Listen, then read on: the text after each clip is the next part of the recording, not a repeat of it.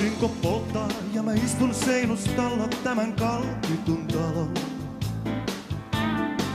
Ilman väreilee, taivas kuumuutta hohtaa. On vasta aamupäivä, muttin jaksa päätäni liikauttaa. Iltapäivän helle kohta mut lannistaa. Mä lähdin pois, koska tunsin kuinka tuska täytti mun rinnan. Pakenin, koska luulin osaavani unohtaa. Nyt on iltapäivä, näin kangastuksen, joka rikottu on. Siellä missä sä oot on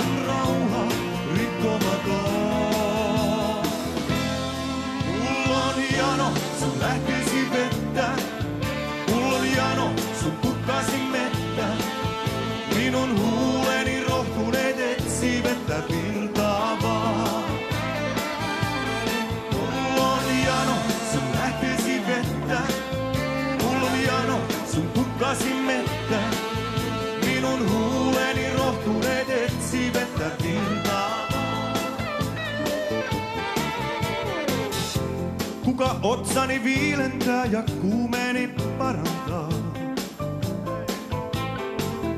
Kuka tulen tän rinnassani sammuttaa? Tää iltapäivän helle mua sormellaan osoittaa.